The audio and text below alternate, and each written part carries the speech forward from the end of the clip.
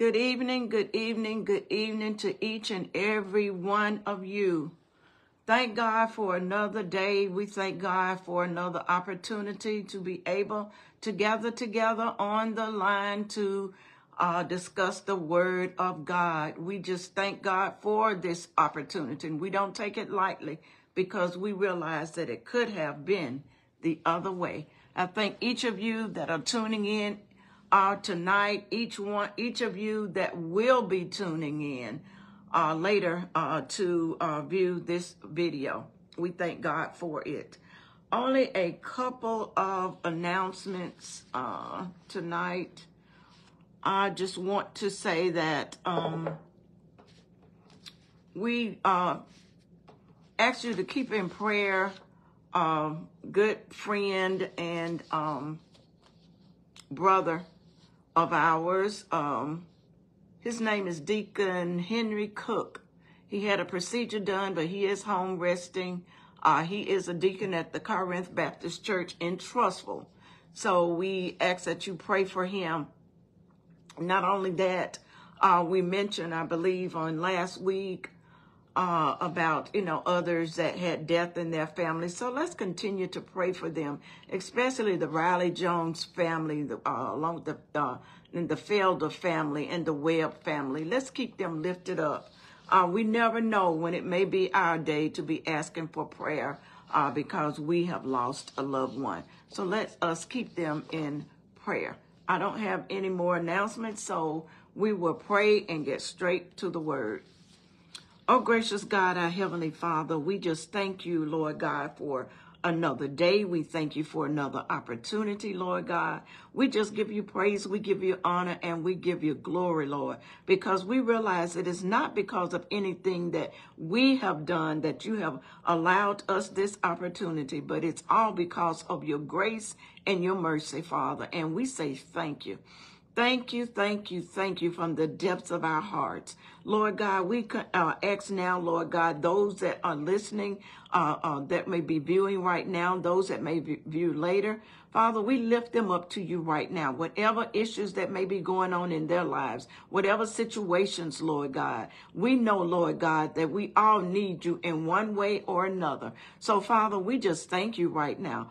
Thank you that all is well, Lord God. And we just thank you that even when we go through our trials, we still know, Lord God, that you've got your eyes on us and that we are in your hands and that everything will turn out all right. We love you, Lord, and we bless your holy name. We thank you again, Lord God, for so, so, so many blessings, Lord. We lift up our pastor tonight, Lord God. We call him blessed man of God. We ask that you will continue to crown his head with even more wisdom and knowledge of your word, Lord God, so that he will be able to break the bread of life to us. Not only our pastor, but pastors all over this city, all over this state, all over this country, all over this nation, Lord God. Those that you have called to minister to us, Lord God. We just pray right now that you will allow them time, Lord God, that they will be able to study, Lord God, and then, then where they'll be able to break the bread of life to us. We thank you. Lord, we invoke your presence tonight, Lord God, as we continue our study in the book of Ephesians. Father, we just thank you for those that are coming on, Lord God, and those that may look at it later.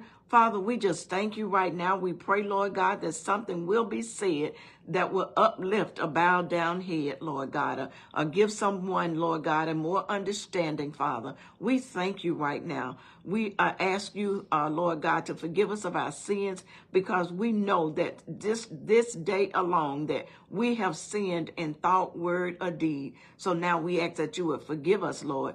We thank you because you said if we confess our sins, that you are faithful and just to not only forgive us, but to cleanse us from all unrighteousness. And Lord, we thank you right now for our cleansing. We love you, Lord. We bless you. We give you praise. We give you honor and we give you glory. It's all in the mighty, the magnificent, and the holy name of Jesus Christ. We do pray this prayer. Amen, amen, and amen as I stated before, and in so many times that uh, we just thank God again for this opportunity because so many people wish that they had the opportunity that we have right now. I understand sometimes we may we get up out of the bed, uh, we are stiff and we may not can move. You have to wait for a few minutes to get uh, these legs and these arms to moving, but we are moving. Somebody still would trade places with us. So instead of complaining, let's try to remember to just say thank you. Thank God for things being as well as they are.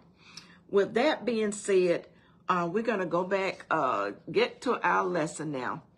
You know, on last week, um, we were looking in, um, we were in, we started in our fourth chapter uh, last week, the fourth chapter of Ephesians. And we know uh, last uh, week, Paul uh, was talking to um, the Ephesians, but also uh, every believer that would come and read this. Uh, he's talking to us as well. He was telling them, um, he compared the Christian life to a walk.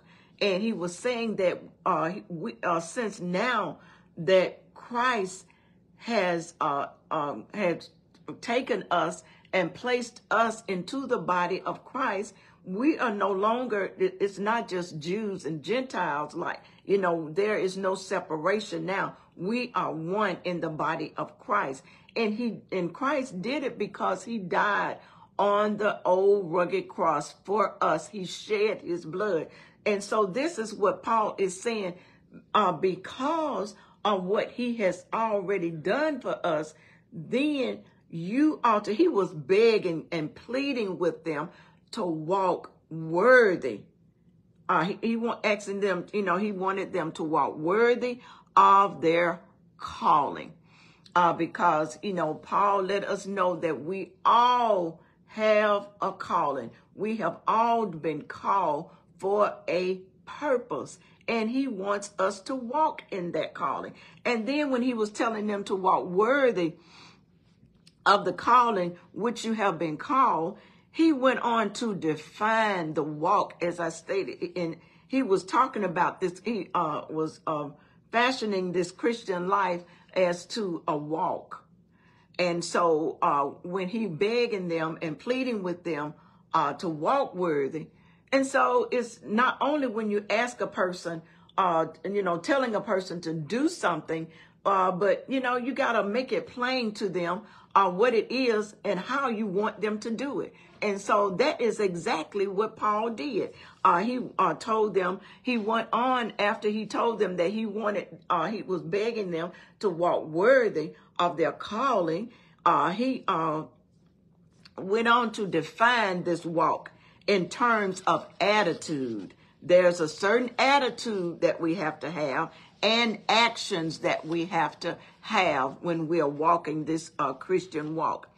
And so, in terms of these attitudes and actions, Paul listed uh, four virtues uh, last week that we saw that should uh, that these virtues uh, should characterize every believer in Christ.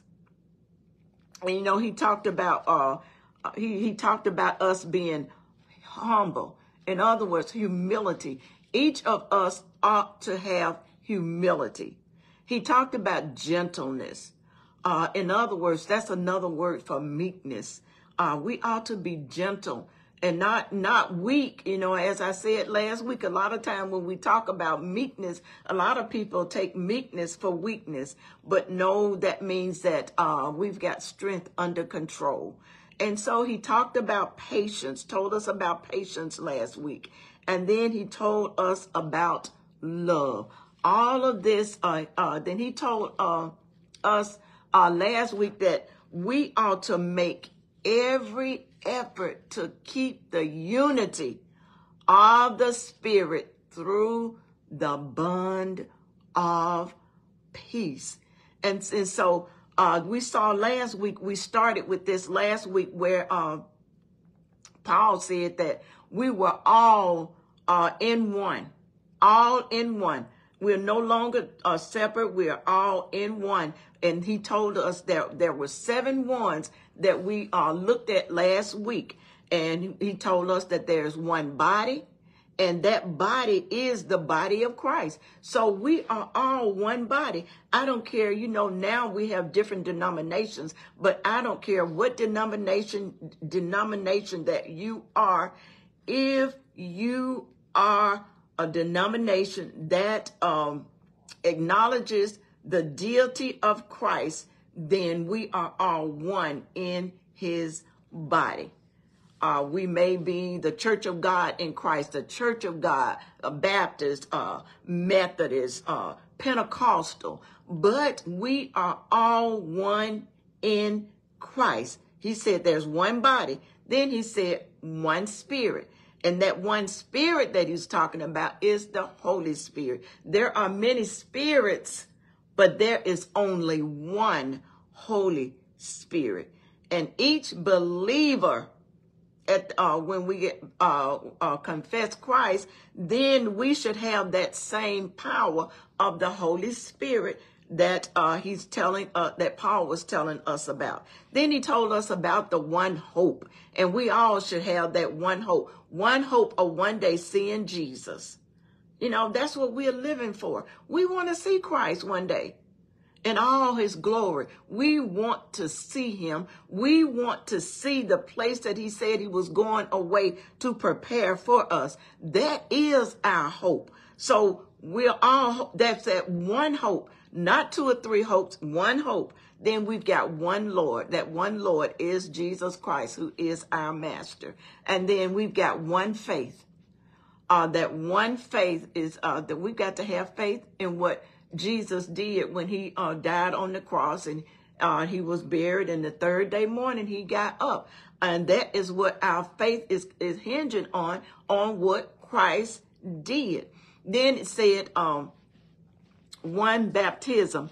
And I know that there are uh, several other baptisms, but this baptism here, uh, uh, talking about um, not only were uh, the mainly is talking about when we first when a, a, believer when you confess christ when you say that you know you believe in christ and at the moment that you believe the uh, uh then you are what? You are baptized. In other words you are placed into the body of christ. That is a baptism but we also follow up with water baptism, whereas we are emerged, and that's what uh, baptized means is to what emerge. And and I know as Baptists we believe in in complete uh, uh, submersion, un, you know, underwater, not just sprinkling, but we believe in going under the uh, the water. We believe in um, water baptism.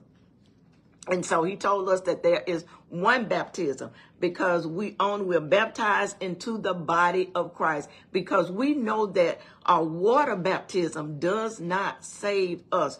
As I think I said last week, we can go into the water uh, if we have not truly believed and had a change on the inside. When we say that we confess Christ and we've had that change, then we are what we are, are baptized into that body and then we go and be baptized into the water but if we really have not have a change on the inside as our pastors say all the time we go into the water a sin a, a, a, a, dry center go into the water as a dry center but we just come up a wet center nothing has changed the change has to take place on the inside of us. So we can't get that twisted. I so know uh, so many times, you know, people say, well, I want to be baptized again. It does not matter about you being baptized again because that is not what gets it. We've got to make sure that uh, the, our inside, uh, our spirit man is what has changed.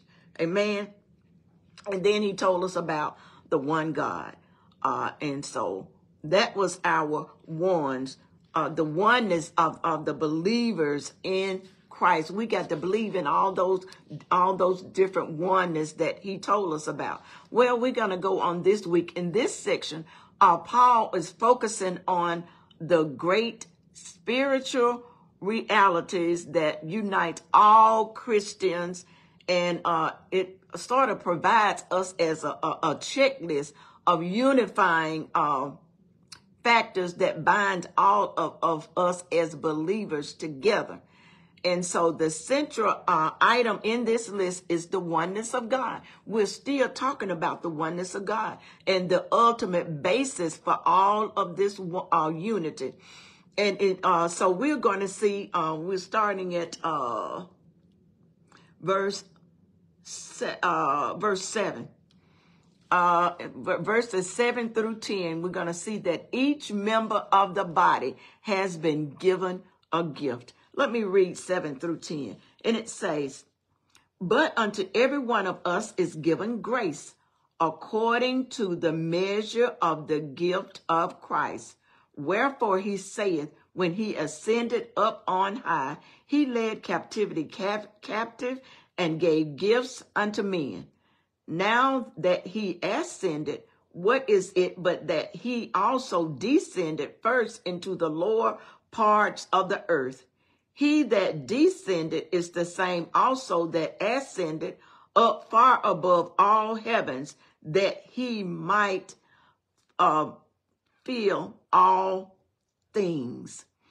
So here when we're talking about, he start out by saying that um, Every one of us uh, has been given a gift, and it's what what by the grace of God.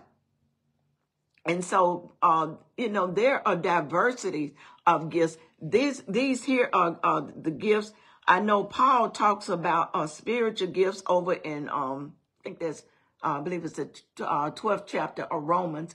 Also over in First Corinthians uh, can't remember exactly what, I'm not sure if that's the fourth or.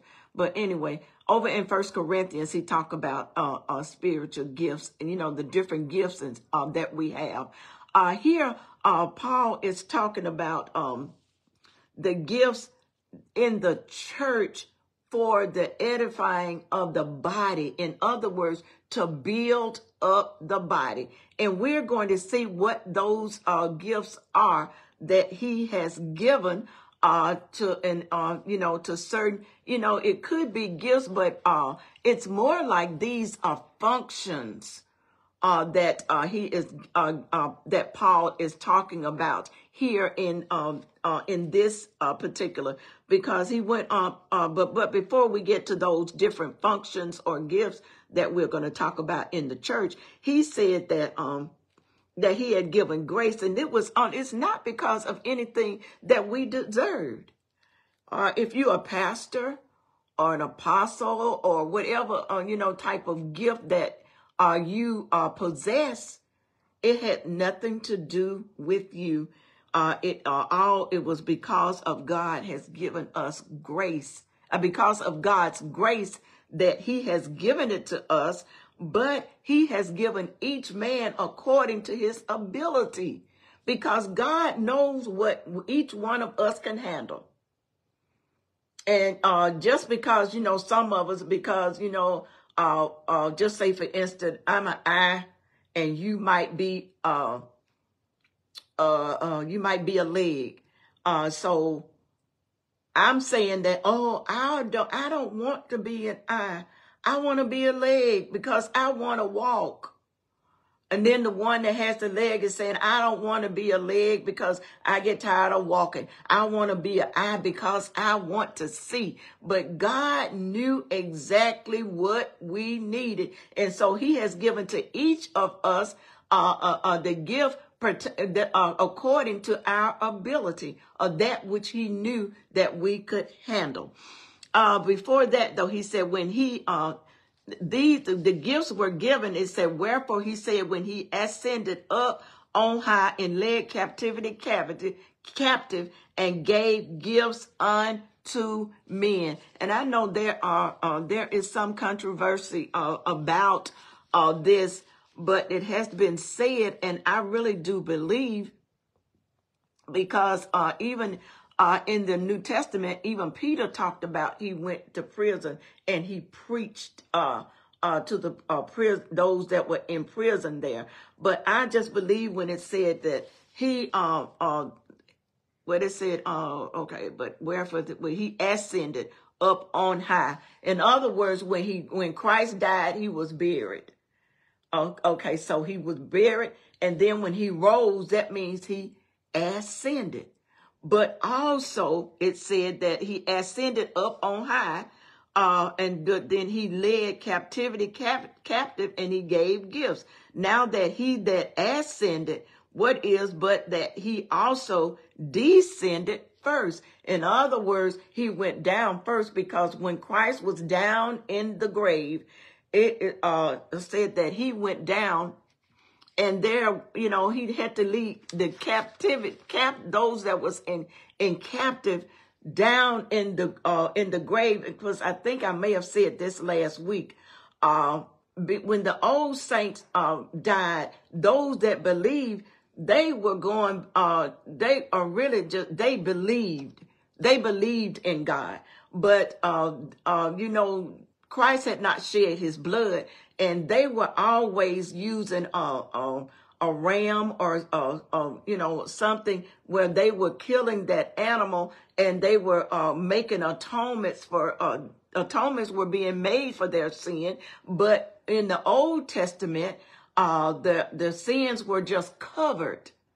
It was that's why they every year they had to make you know the high priest had to come in and do another atonement uh, for the people's sin. You know, he had to get this spotless uh, uh, um, uh, lamb and bring that lamb, and then he put all the people's sin on it, and then he would let it out into the uh, into the wilderness. And but the high priest had to do that every year. But when Christ shed his blood, that once and for all is, no more shedding of the blood because he's all he did it and he went to the mercy seat of, of, of God and he placed his blood on that mercy seat. He paid for our sins. And so, in other words, they are just not covered. Uh, our sins have been what? They have been done away with. He wiped the slate clean once we accepted him. Our slate was no longer, we, we, uh, he, he wiped it clean. So when he went down, those saints that died of old, because their sins were only covered. They had to have their sins what forgiven. And so, uh, uh, what uh, Christ did when he went down in the grave, and because I think it was in the, I think I can't remember, is it the 14th or the 16th chapter of Luke, where uh, it talks about uh, Christ was talking about um, uh, Abraham, not Abraham, but the rich man and Lazarus uh, when the rich man died and then Lazarus died. Remember that um, story that it tells about when the rich man died and, um, and Lazarus died. And see, when the rich man died, he went to hell. Uh, but when Lazarus died, he went into, he was in the bosom of Abraham. And see, the uh, hell uh, in the Old Testament was divided into two sections. There was one section whereas there was uh, being, uh, there uh, people that go there were being tormented, but the others were what they would call the bosom of Abraham. In other words, they were waiting on Christ to come and deliver them. So at the time when they were uh, uh, in the bosom of Abraham, they were just living in comfort. And so those that was over on the other side, you know, when they saw them living in comfort, they would get upset and mad. But hey, look, it's all, in, all according to the life that they lived before they uh before they died. So when Christ died and he went down into hell, he went down so that what he could uh, bring those up and bring them back with him when he go uh, up to the Father because what they simply believed but they did not have the blood that could do away with their sins. Their sins were only covered. So when he went down and uh, uh, Peter said that he preached to the prisoners. And I just believe in my heart that, okay, so now he preached to them. You had this opportunity now that what now you can accept Christ. You know, you could not do it then. You, you, you, uh, were saved because of what? Because of your faith, because you but simply believed. You believed God's word at that particular time. And so uh, when he released them, and brought them up out of, of, of, of captivity where they said that they were captive because they were down in hell, but they were not in the section, uh, whereas there was uh, uh, being those that were being uh, tormented. They were not there. They were in the bosom of Abraham. Remember when um, the rich man uh, had told uh, Abraham to, to just let somebody go, you know, you know, just go back and tell. Uh, um, no, that was not. Uh, he wanted him to dip his finger uh, in just some cooling water, you know, just because he was. It was just that hot, and even he wanted him to uh, send somebody back because he did not want his uh, friends or his family to come where he was. But Abraham said, you know, they're going to have the same opportunity. You had the same opportunity. You didn't have to end up where you are. It was because you did not listen. You did not believe. You had the opportunity. So no, nobody can go back to preach to them. They've got the uh, the uh, preachers. They've got uh, uh, uh the, you know those that uh uh, you know, you got the apostles and uh, you got all of those that will be preaching to them. So they will hear the word. It's going to be left up to them to hear the word and to heed the word, to keep from coming where you are. And so that is what it means on when he was talking about he that descended, the same also that ascended up above all heavens, that he might feel all things. In other words, he fulfilled all uh, the uh, things that he was supposed to fulfill while he was here on earth. And he died and he went down and he rescued those that was there. And then he had to take them on to glory. Remember in the book of Matthew where it talked about when on the um uh, when Christ was crucified, it said that those graves uh, opened up and those people were walking the street. And so I just believe that, you know, they got up and they were walking with him because they done heard it now. They heard the gospel. So they done got up and they walking on. And hey, look, they were, uh, so that lets me know too, big because we know that Christ, the Christ, the uh, the disciples recognized Christ when He came back from the dead. So if all those people up walking, they were recognizable and even though they were dead, that lets me know that we do, we will have a body that is recognizable uh, once, you know, when we get our glorified uh, body. Amen. And then so now, um, he said that, uh, okay, that was he that descended the same that might, that he might fulfill all things. He fulfilled all things when he rose from the dead.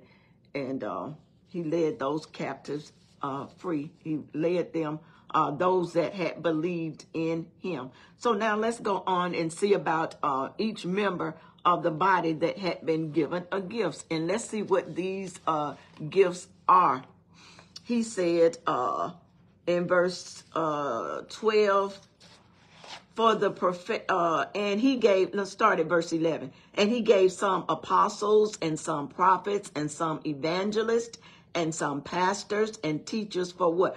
For the perfecting of the saints, for the work of the ministry, for the edifying of the body of Christ, till we all come in the unity of the faith and of the knowledge of the Son of God unto a perfect man, unto the measure of the stature of the fullness of Christ that we henceforth be no more children, uh, tossed to and fro and carried about with every wind of doctrine by the sleight of men and cunning craftiness, whereby they lie in wait to deceive. My God, my God, my God.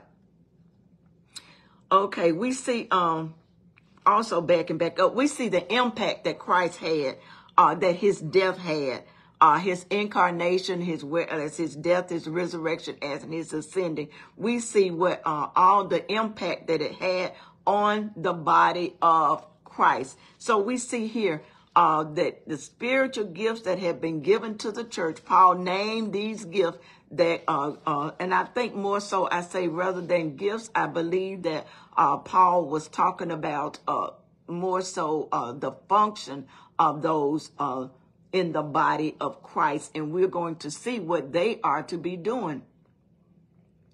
Uh, because we know in general the uh, the uh, the gift that God has given to the body of Christ is the Holy Spirit.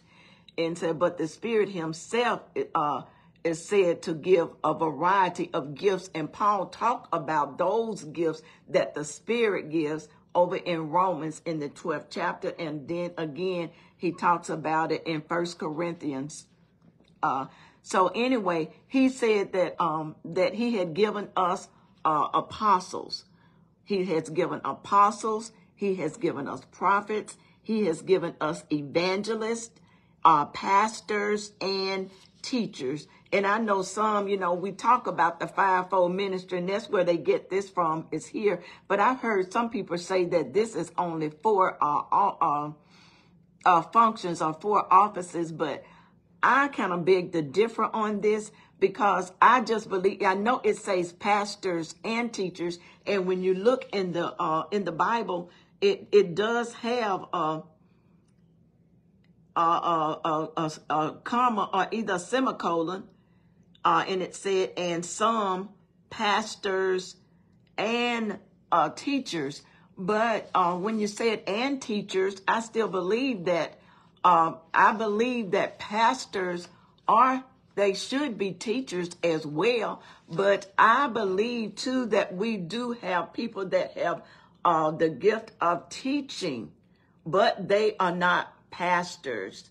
They are not prophets. Uh, they are not uh, evangelists, they are just teachers. So I believe that this really was included in this when um, Paul mentioned these functions. And we know that these functions were what?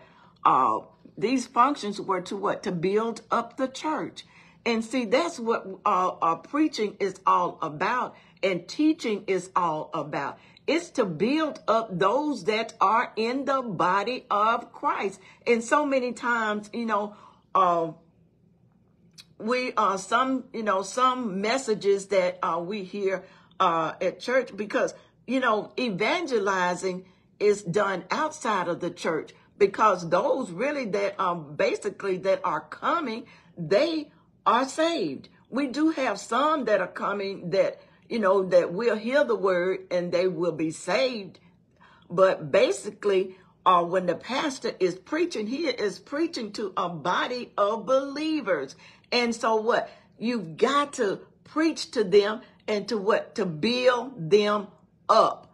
Uh, and we're going to see that they are, they are, need to be built up you know, uh, because we know that some people just attend church for personal benefit, but that's not uh, that's, I would think, you know, it's more like being a leech because God saved us and he has equipped us to do the work of ministry. In other words, the work of service.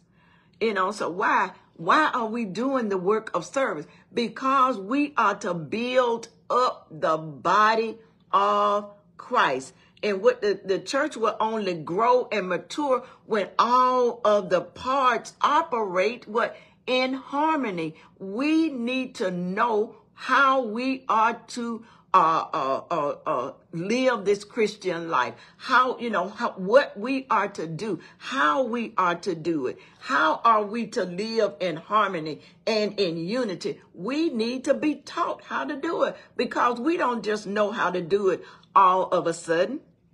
And so if you have somebody in, in there that has a, a, a Lone Ranger personality, uh, then, then that, uh, uh, you know, that saint, uh, is going to be feeble. And then the body will suffer because what? Uh, it, it, you know, you don't have the togetherness, uh, because our relationship, uh, to, uh, in the corporate body is, uh, is crucial. We should all be on one accord. And this is what Paul was telling them. It is crucial for the body of Christ to what? To be as one. And then he went on in verses 13 and 14. He was telling us that, you know, we all got to come together. Uh, and that's how we are building up the body of Christ. Uh, because he said that, um, uh, unto a perfect man, unto the measure of the stature of the fullness of Christ. And so, you know, we've got to build because we need to grow. You know, we no longer are babes, you know, or, you know, we didn't stay babies. We grew up. And our, you know, children, we look at our children, how they are growing. Because what? We no longer need to be babes in Christ because what? Children are unstable in their thinking. They're easily what? Tossed to and fro. That's what Paul was talking about. See, as Christians, we are, um, you know, we can't stay the same that we are. We need to grow up so that we can have a spiritual, uh, a, a, a sound, a spiritual foundation. And once we get that sound spiritual foundation, what we need to do is to go on and then to try to, you know, we equip somebody else because somebody has helped us and given us what we need uh, to grow. Then what we need to, what we have learned, then we got to go. And, you know, it's like I said, each one teach one or each one reach one. Once I have been taught, then it's on me to go and to teach someone else. In other words, uh, the only way that we're going to grow and be strong so that we won't be blown around by every uh, wind of teaching uh, because we do have some false teaching. Uh, it talked about uh, human cunning. Uh, so we need to be stabilized or we need to be mature. and see, that only comes when we are connected to each other, when we are one and we are doing what we need to do to what to build up the body of Christ. And so uh, we see that that's why, you know, he said, no, be no more children. Because I told you, you know, children uh, don't think the way that an adult would think because, you know, they're thinking, you know, they'll think one way this minute. They, they, you know, they're thinking is just like being tossed uh, to and fro. They're unstable in their thinking. They may think one way this minute and the next minute they're going to think the other way. And see, we can't be like that. We've got to be stable. We got to be stable in what we believe because if we're not stable in what we believe, then anyone can come in and bring in, uh, some kind of new religion and we'll fall for that. We've had so many people that will fall, you know, look at those people when Jim Jones came along and how they followed him and how he ended up and all of them dying because he had them to drink poison. And so we don't want to be led astray with things like that. Somebody's always coming with something new.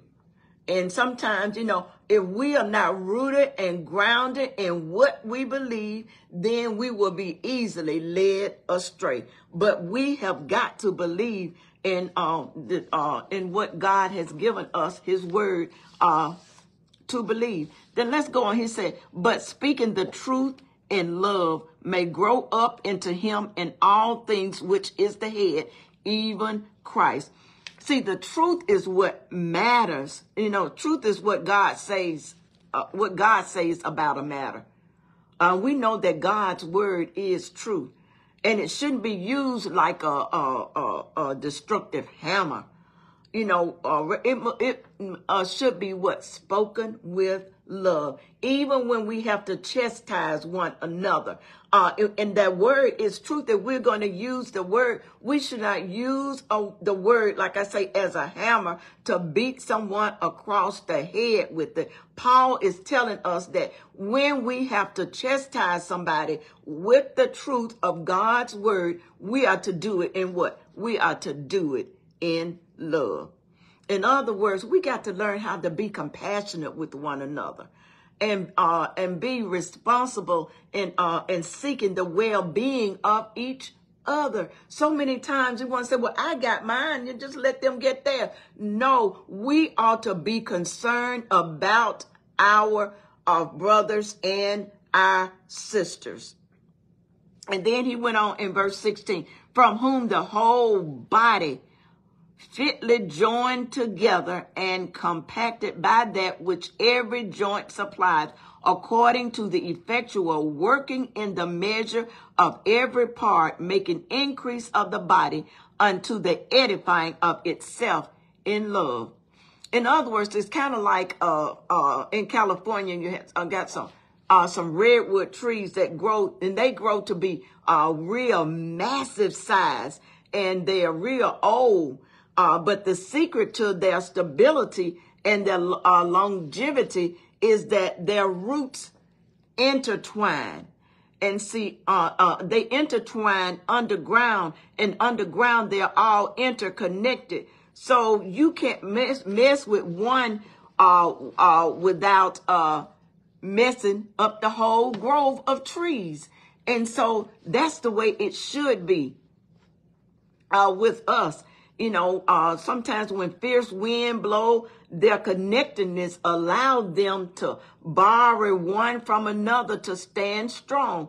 And so it is what Paul is saying with the body of Christ, which is the church. That's the way that we ought to be in the church. We ought to be what?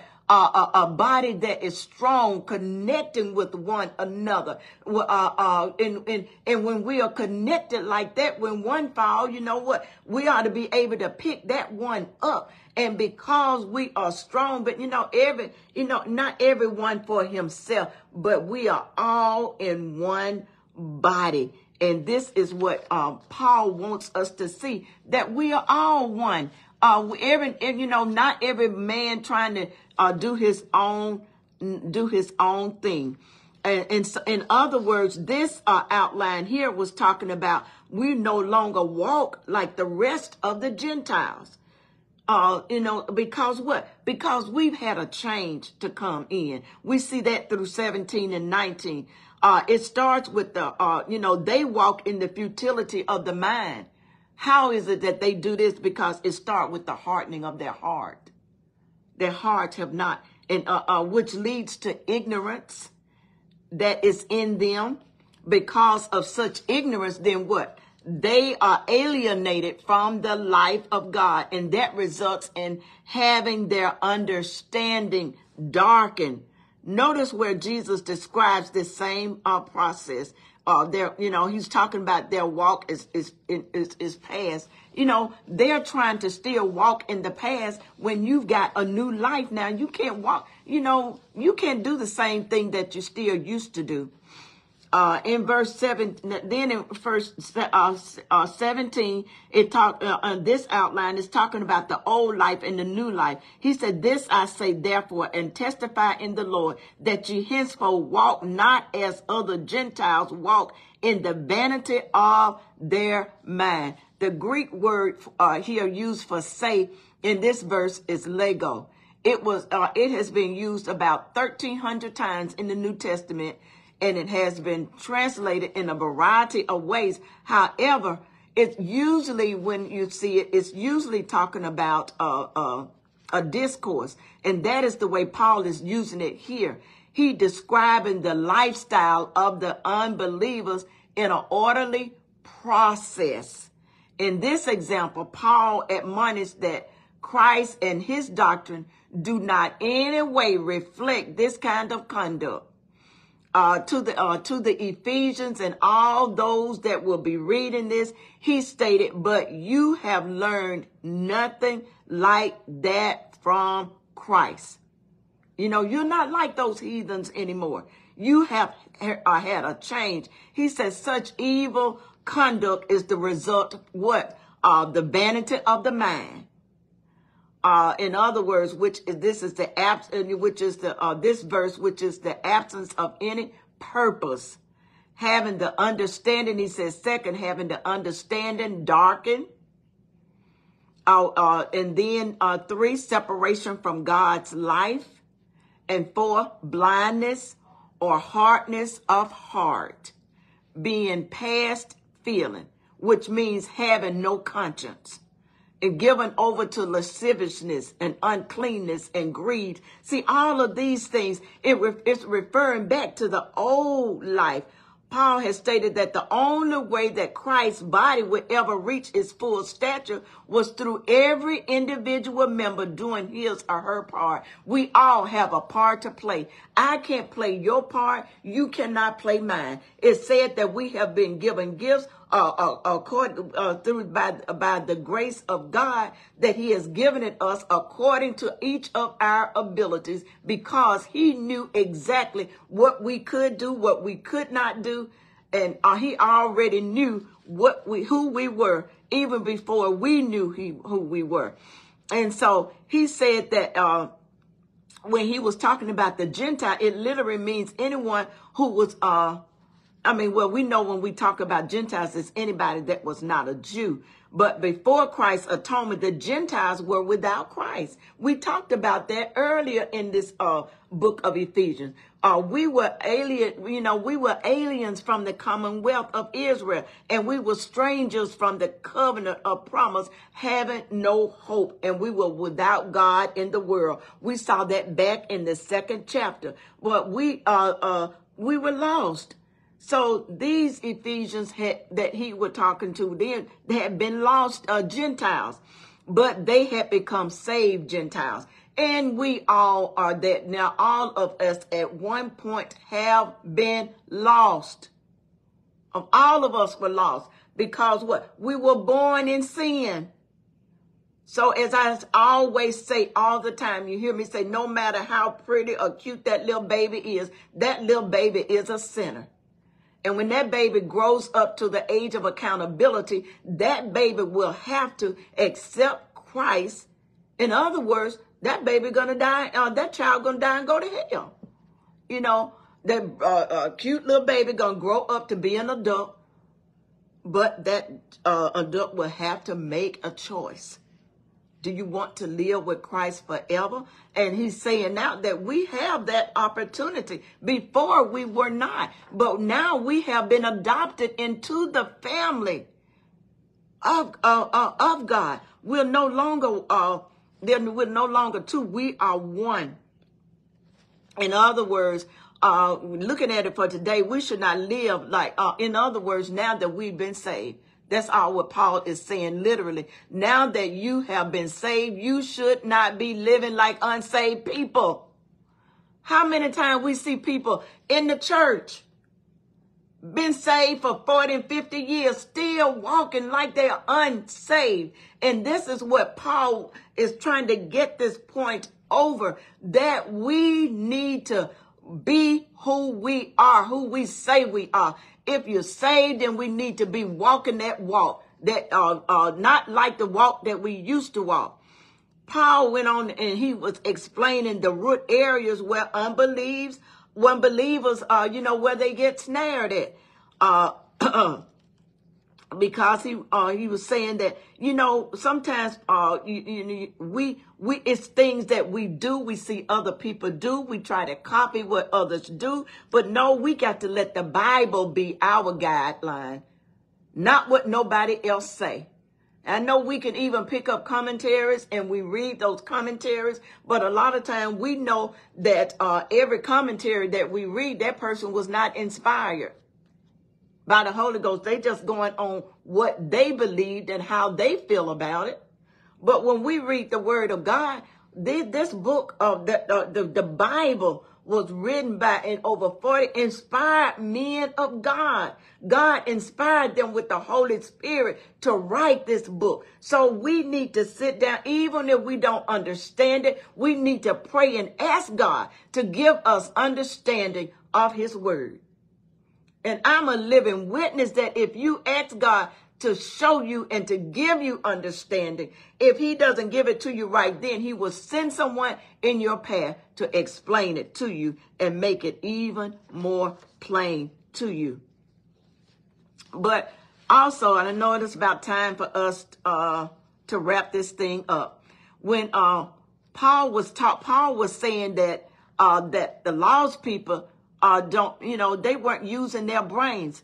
And so it, that's one of the criticism against Christians by those that, uh, you know, those of us that, uh, you know, we are saved, but then sometimes we start acting like, you know, like we are unsaved. And that is foolish. We're the ones who, uh, then will be characterized then as being brainless because, you know, if we say we got faith, see, faith is not foolish. It's, it's a true fact that uh, uh, that if we have faith, then we ought to be operating in faith. And we are because we have a God that has given us everything that we need to operate in faith. He didn't ask us to do it on, on our own. He has given us the uh, word to go by.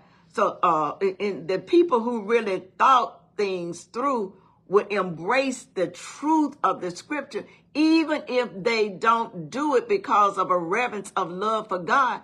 Uh, uh, you know, sin isn't smart. It's just stupid. So you can read it in the scripture and you know what it say to do. But you know, the Bible say he who know what to do, and I'll just paraphrase, if you know what to do, but if you don't do it, that's a sin.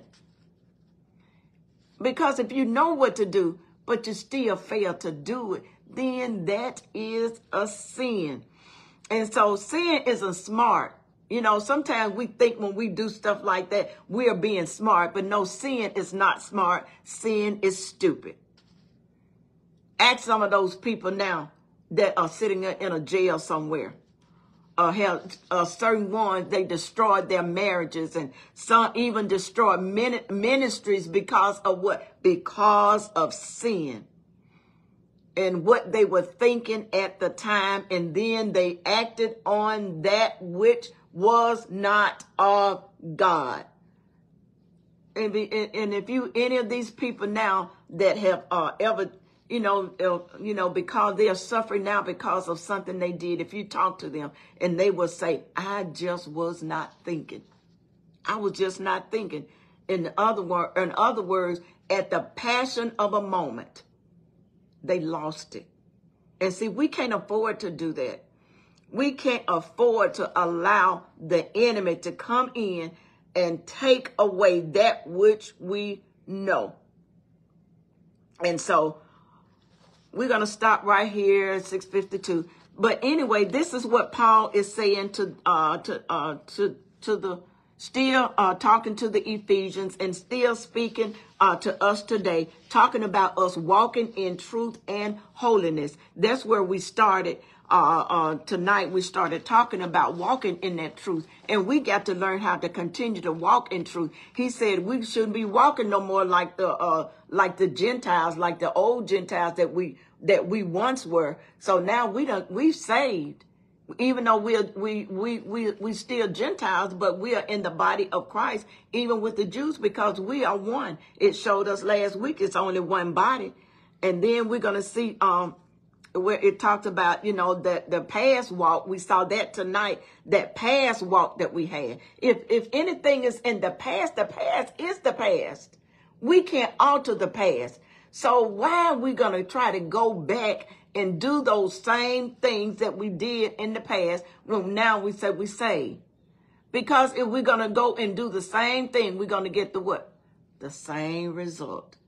So if we are, we know that we are saved, we got to start acting like we are saved. We can't have hardness of heart. We can't be uh, uh, ignorant uh, in the word of God when it comes to, you know, uh, doing those things of God. Because if we're going to do like Paul said, if we're going to walk worthy of our calling, we've got to know how to walk. And the only place where we can find out how to walk is in the word of God. Amen. I pray that something has been said tonight that will cause you to, to think, even even just one little thing, it will cause you uh, to think, or even if you uh, had uh, some doubts about something that you've been doing and that now it would change your mind, give you a, uh, uh, you know, not only a change of mind, but a change of heart. Uh, well, you will decide that I know I'm not doing that anymore it's time that I get it together. Amen. I pray that you will have a blessed evening, and I look to see each of you Galileans uh, on Sunday morning at 10 o'clock. And if anyone else that is viewing this or will view this, and if you don't have a church home, we invite you to the Galilee Missionary Baptist Church, 3753 Carver Avenue Southwest in the Grasselli Heights area. And until next week, I pray that God will bless you and keep you. I pray that he will make his face to shine upon you and give you peace. Peace in the name of Yeshua. May God bless you and may God keep you is my prayer. Go in peace.